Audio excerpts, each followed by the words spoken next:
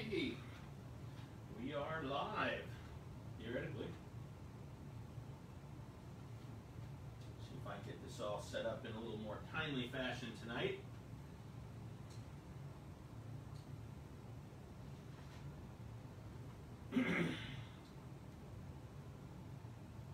Let's see here.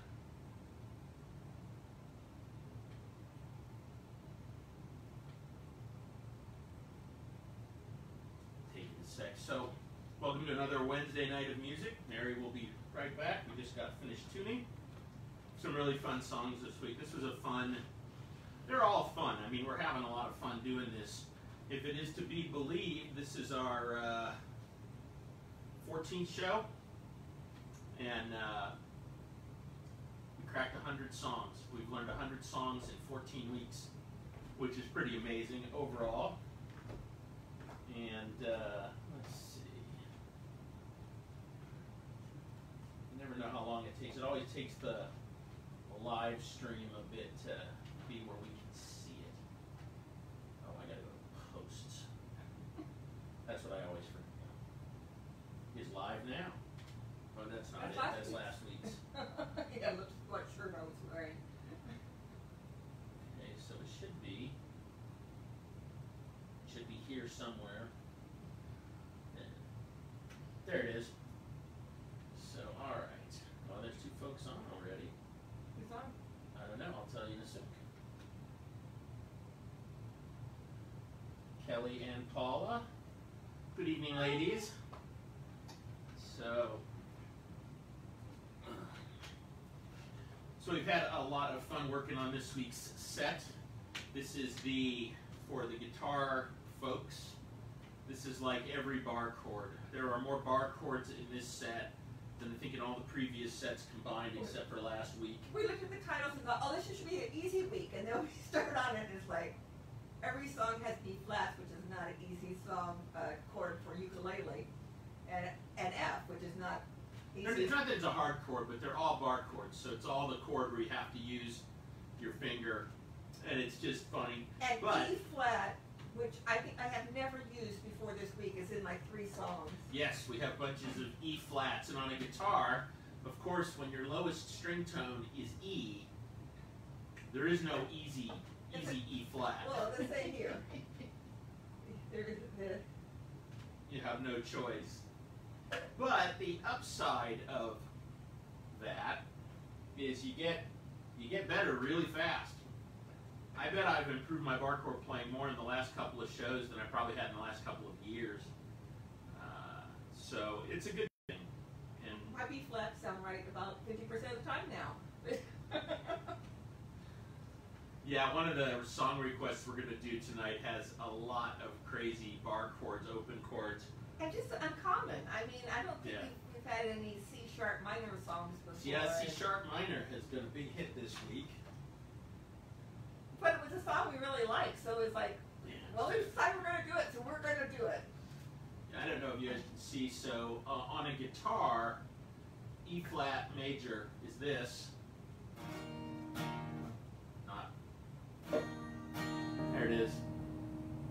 And C sharp minor is this. And uh, it was just, it, and it was interesting because one of the things we get to do with some of this is we get to look at the music theory of it, and we discovered that this particular song uses uh, one five six four one six six four five. one six four I said, I really like the intro. Let's look at it, and it's like, cause I know what, what, uh, what's the Interval. Yeah, intervals. So, so I maybe use it for something later, and it's like, oh, that's a really common one. It just sounds really cool when you do it in the key of A. Not easy to play. One five No, one six. one four, five. six. Uh, Well, if you do it with C, it's turn in the key of C is easy. So it's C, A minor, F. seven, well, or you do regular G. so and the Della is on. Oh, Della. So, but yeah, so it's been a, I certainly given that I'm probably getting a when I first started playing guitar, people always say, "Well, how did you get started? How did you get to playing so quickly?"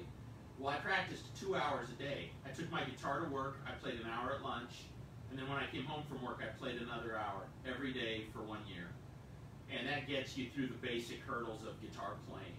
Gets your fingers toughened up, and uh, and so even with the band and everything, and us practicing a couple of hours every other week, on average, I probably don't get anywhere near an hour a day practice. And there's plenty of times when the only practice I've been doing is my is my band practice. So this has all been work on new songs practice, which is a lot of fun. Plus, we're kind of rediscovering a lot of music that we knew, and it's like, oh, we could do some of these songs. Yeah, people will, will mention a song that's like never heard of it, so they look for a YouTube video. It's like, oh, that song. Oh, that song.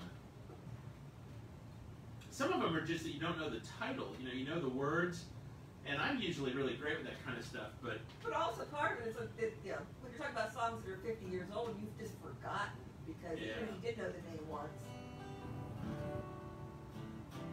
yeah, one of the Everly brothers, Phil Everly, passed away this past week, so we might have to dig up another uh, Another one of their songs. another one of their songs.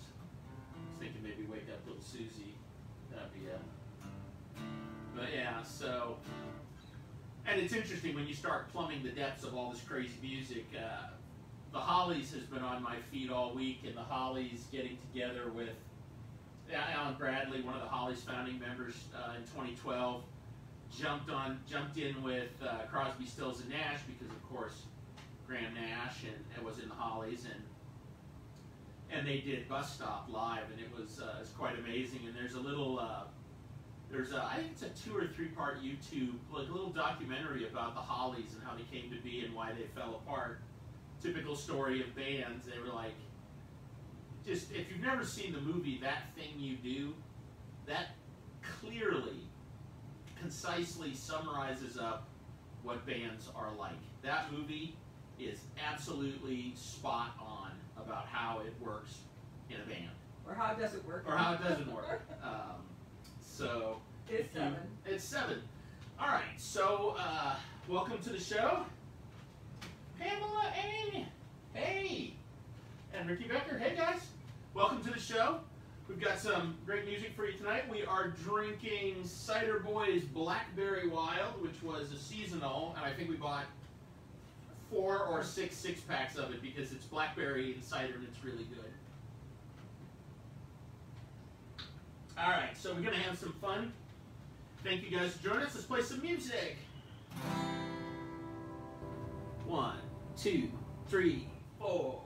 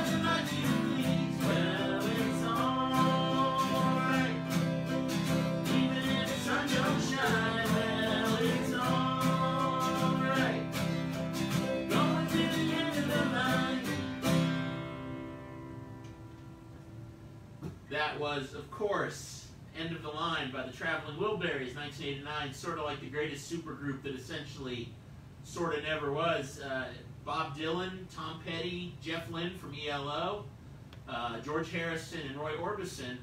And between the time that they recorded the album and released the video for the song in 1989, Roy Orbison passed away.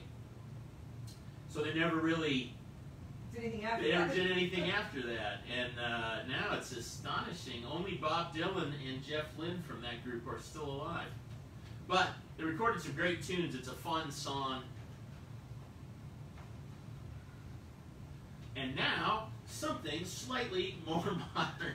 I, I thought for sure it was the same year as the previous song, but I guess. no, no. Okay. It's the same year as the last song. Oh, okay. Yeah, that the Traveling Wilburys is 1989, just kind of squeaking in at the end of the 80s, when they still made videos that looked like oh, videos. Well, this was a music video. I, I heard it on MTV the first time I heard it. But it was a performance video, wasn't it? No. Oh, I don't remember. I was done watching MTV They by were then. just walking around. They didn't do anything really Yeah. artsy. I mean, or anything. Now here's a little something from Mary's favorite band. One, two, three, four.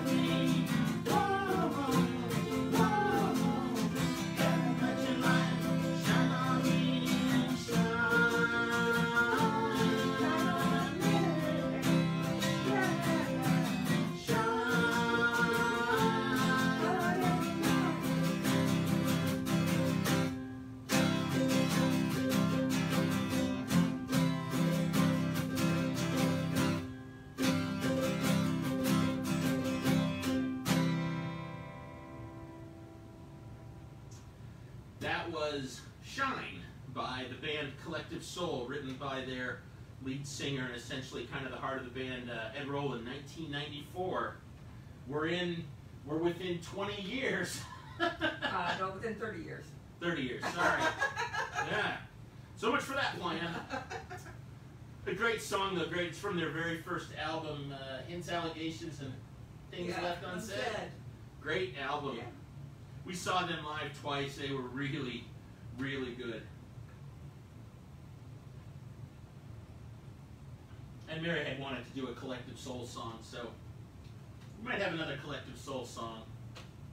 They had a lot of great music, but and Their, their style was that they're a rock band, so making an acoustic is a little tricky. But it was funny because after I did some looking at this song, a video floated across my YouTube feed of Ed Roland on uh, in New York, basically playing this song, or was he playing They were uh, playing world that I know. "World That I Know" just on an acoustic guitar, and it was really good. So it's doable. Good songs should be playable that way.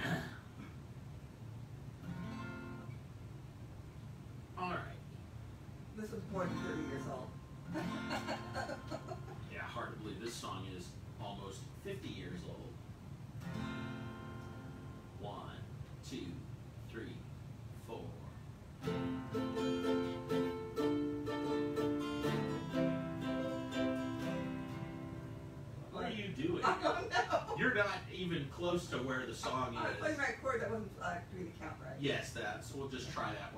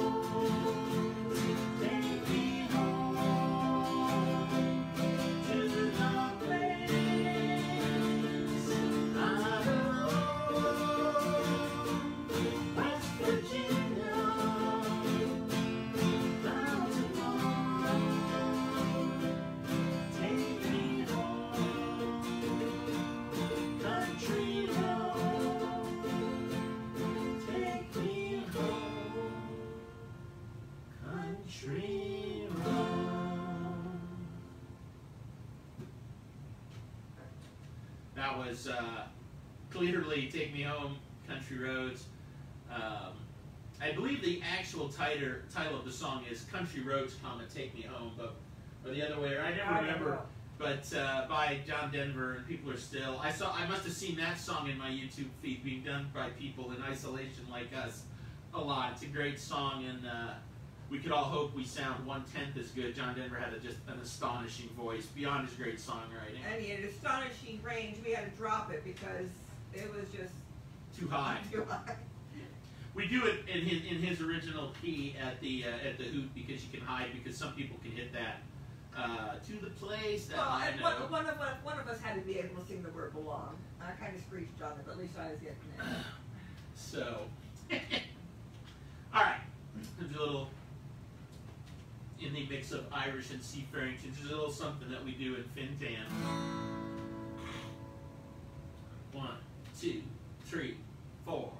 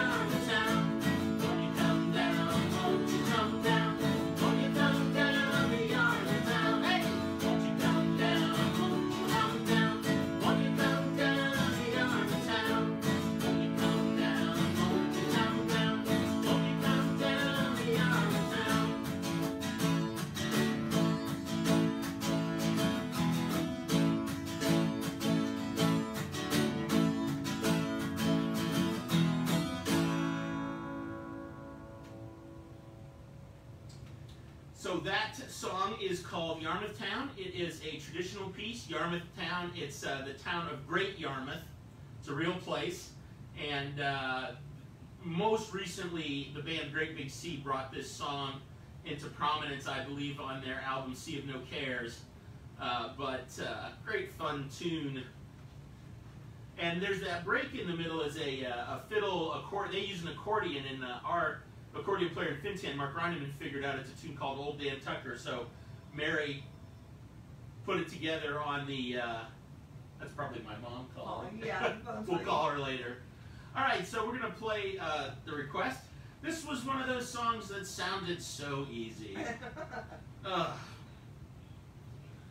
We learned it, and it's a great song, and we uh, we had a lot of fun learning it, but uh, it was it was pretty challenging.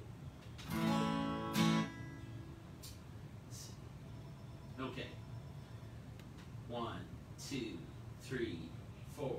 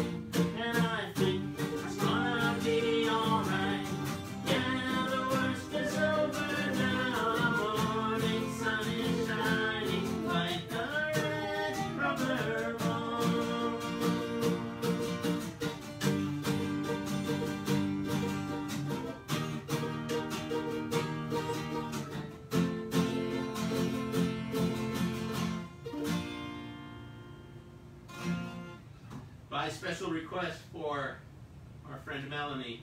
So we should have known it wasn't going to be an easy song. We didn't know too much about this song, so we had to dig in. That song is from 1966 from a band called The Cyrkle. C Y R K L E. I think it's recorded by someone called Kirkle. Because Yeah, she- a circle. yeah. That famous Kirkle band. Um, but Paul Simon and Bruce Woodley wrote this song. So you can always be clued into anything Paul Simon writes is going to be hard to play. Yeah, the key of A is not an easy key, and then it steps up a half step. Yeah. step, to the key of B flat, which nobody writes it. Yeah, B flat, D minor, E flat natural. So B flat natural, D minor, E flat natural with some Fs, G minors, C minors. Oh my gosh. But fun song to play. I don't think we quite got the 1966 poppy monkey style sound with it, but great tune. Thanks for the request. And as always, we will try and learn requests. I mean, we're literally learning these songs in six days. I mean, basically, we've now got to the point where we've got our, we'll finish, we'll put together next week's set list tonight and start practicing it tomorrow because we just can't afford to not practice on Thursday and be fiddling around with the sets too much. But please uh, feel free in the comments to this to drop some song suggestions. We certainly, the world of music is huge and wide, and we're rediscovering songs. So if there's uh, something Or if it's an artist, if there's an artist you like like and you don't really care, just say the artist name and we'll pick their easiest. Yeah, throw yeah, throw an artist to, to us. Um, but uh, we're always looking for new stuff, and while we do still have a lot of songs, we are about halfway through our giant master list, or a little more than halfway through. Um, so, assuming we do this for all of July and probably all of August, we might need a few tunes. Plus, we like song suggestions. If you know, we'll we'll do our best. So here's our last song for tonight. As always, thank you guys tons for doing this. We really had a lot of fun with this song, and we'll talk about it after we're after. Uh, but this has now become one of my new favorite songs. Great chord progression. Yeah. One, two, three, four.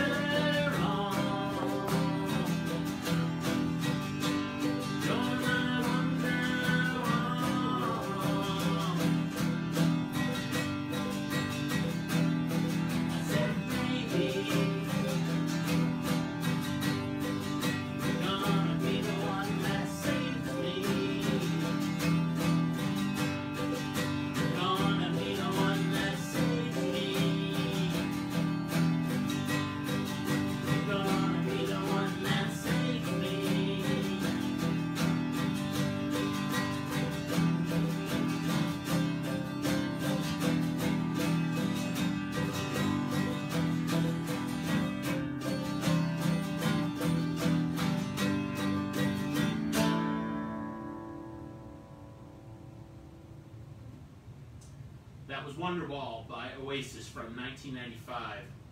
I don't know why this song gets so much hate. Uh, we started playing it. The chord progression is just cool.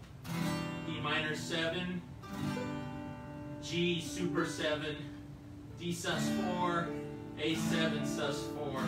Really sweet, really nice lyrics. On the ukulele, one finger never moves. You just moves with other fingers around it. It's- Yeah, and on the and on the guitar, these are some of the same chords you would find in in "Wish You Were Here," where super fun song to play. Uh, I, I I've subscribed to a handful of guitar channels. And the guitar players are like, "Oh my God, someone asked me to play Wonderwall." I'm like, I don't get it. A great tune. So thought we'd end with something a little different. We've got some couple of tunes lined up for next week. Thank you all for hanging out with us tonight. And if you've got song suggestions or artist suggestions, are even better, so we can go do a little hunting. But uh, thank you as always, and we hope that you are safe and well. And we'll be back next Wednesday night with some more music. Hope you all have a, a nice Wednesday evening. Good night, everyone. Take care. I really will change these strings on my guitar this week.